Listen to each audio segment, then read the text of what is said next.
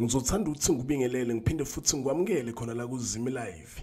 If ufuna ukuhlezi updated ngento ezenzeka khona la eMzansi, ungakhohlwa nje ukuthi usubscribe kule channel and uphinde uclicke ibell for ama notification. So kule video samhlanje ngizokhuluma ngendaba kaZanele Sifubu lokho etrenda kwi-social media.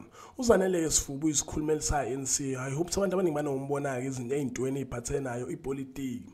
So lokho etrenda kwi-social media kune-video yakhe ebonakala enza ucansi elikhili izolo ebusuku. Le video-ke ikhishwe elinye i-Nigerian ade ebhizi enza nalo ucansi. Kuthe makuvela-ke indaba kuvela ukuthi i-Nigerian likhiphe le video cause lo mama belithembisa ukuthi uzolinika u-300,000 and then wayengabe salinika u-300,000 wayesekele i-Nigerian lakhetha ukuthi likhiphe le video limhlambalaze lim-expose especially ngoba siyazi ukuthi ukwipolitiki so ileyo video-ke lokhu i-trend-ake ey'nkundleni zokuxhumana. Ngeke ngikhone ukuyifaka ku-youtube cause u-youtube ngeke uzohambisane nayo. Leyo video-ke impela imhlambalazile-ke lo mama-ke.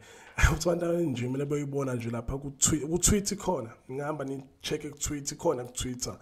Eish la video ya. Abantu abaningi ngicela ukuthi behambe beyoyi-check-a so lezi ndaba lokho ey'trend-ayo impela ey'nkundleni zokuxhumana. Ukuthi abantu abantu abaningi bebabona ukuthi uzanele sifuku uyatrend abanye bayibuza utrenda ngani nani nani.